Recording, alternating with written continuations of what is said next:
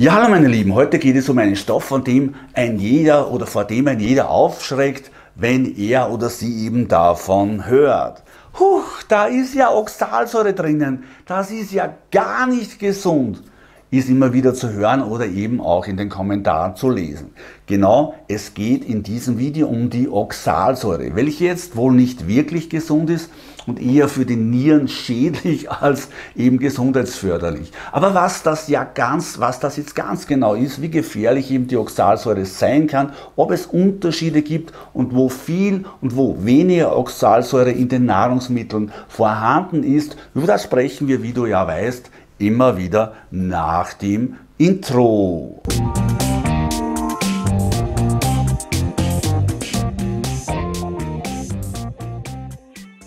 Aber vorerst schauen wir uns einfach mal ein paar Fakten an.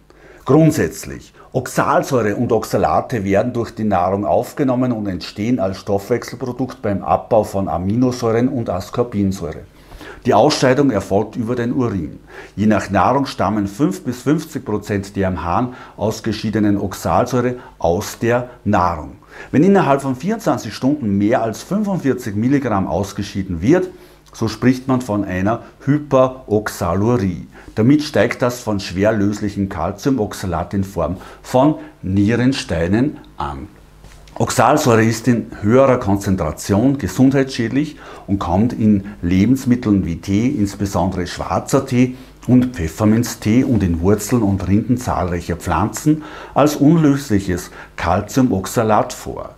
Calciumoxalat entsteht in der Natur häufig beim Absterben von Pflanzenzellen. Somit kann man sich gut vorstellen, dass eben umso älter das Gemüse ist, umso mehr Oxalsäure ist eben dann vorhanden. Nierensteine bestehen meist aus Calciumoxalat und eben auch Harnsäure. Die Steinbildung wird aber durch Zitronensäure, welche in Früchten vorkommt, verhindert.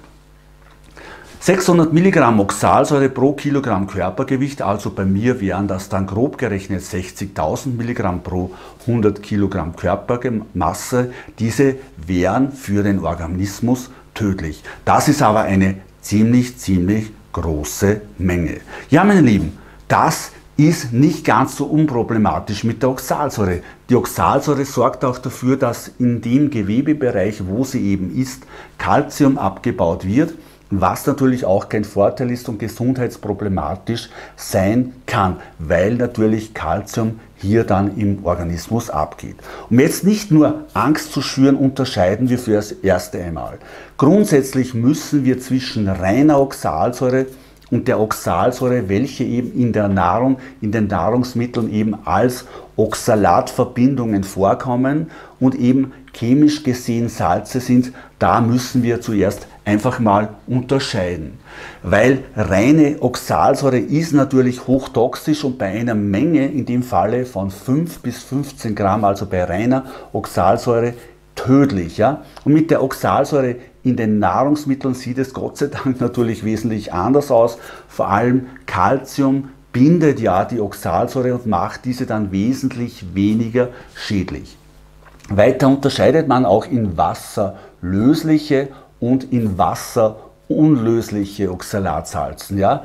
Die wasserlöslichen werden über die Nieren ausgeschieden und können hier zum Beispiel wie mit Rhabarber oder Spinat aufgenommen in den Nieren eben die, Nierenstein, die Nierensteinbildung eben fördern.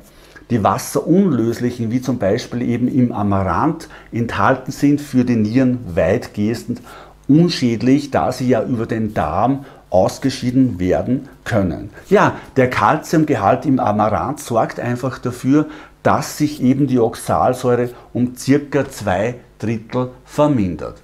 Ja, meine Lieben, da nun die Oxalsäure stark von der Menge eben an Kalzium abhängig ist, wird der Schädigungsgrad im Milligramm Oxalsäure im Verhältnis von der Oxalsäure und dem Kalzium gemessen.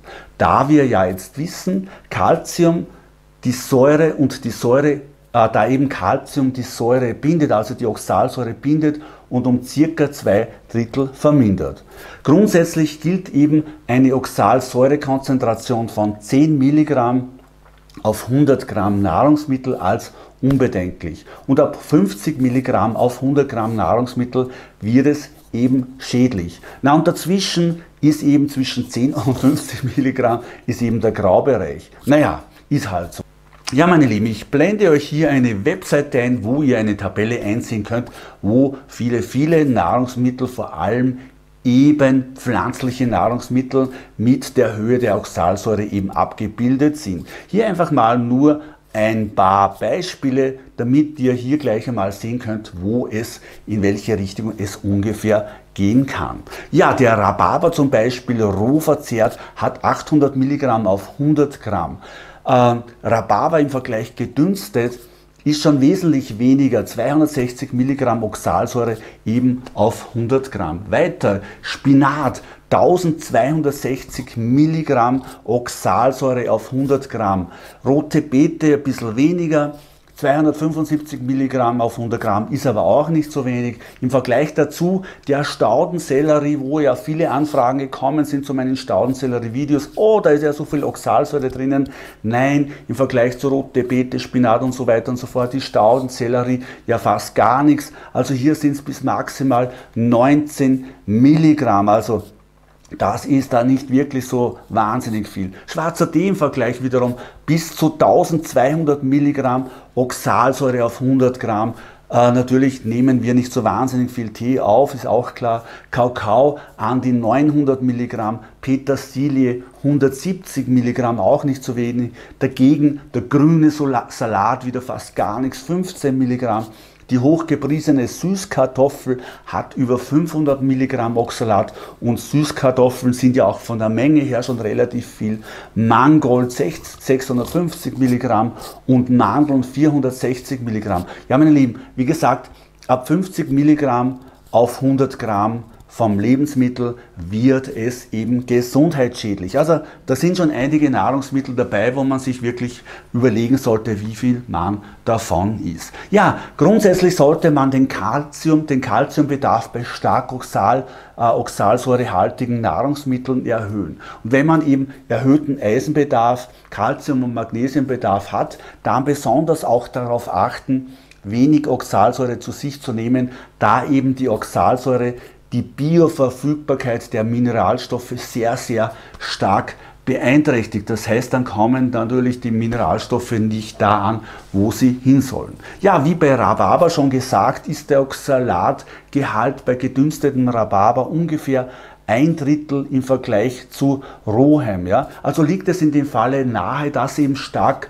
oxalathaltige Pflanzen vielleicht auch eher gekocht werden sollten, als eben roh gegessen oder in den Smoothie-Mixer mit hineingegeben.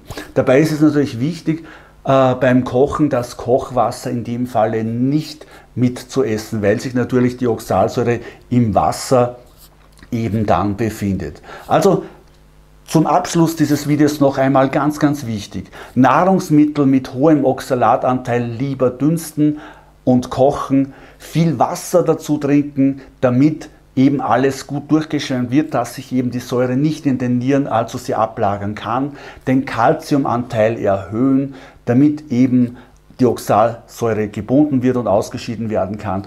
Ballaststoffreiche Ernährung, damit eben auch der Darm nicht allzu viel aufnehmen kann ähm, und eben auch schauen, dass die Darmflora passt, weil nämlich einige Bakterien die Oxalsäure eben auch abbauen können, ist es eben wichtig, hier auf eine gesunde Darmflora zu achten.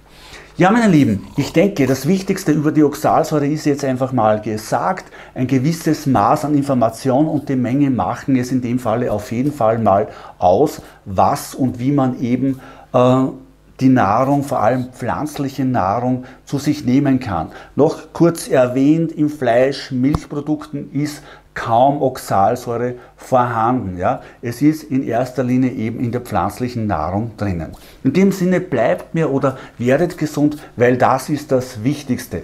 Lasst mir einen oder mehrere Daumen hoch da, schreibt mir eure Meinung natürlich in die Kommentare wie immer und besucht auch meine Seite Bewusst Gesund, Geosixt Lebensmut, ihr wisst ihr, da gibt es noch viele weitere Informationen und eben auch empfohlene Produkte von mir. Ja, und wer mich unterstützen möchte, was ich vor allem auch finanziell sehr, sehr gut gebrauchen könnte, meine Lieben, der darf das gerne tun. Ich freue mich wahnsinnig darüber. Der Spenden-Button ist in der Infobox und ich kann euch nur noch sagen, alles, alles Liebe.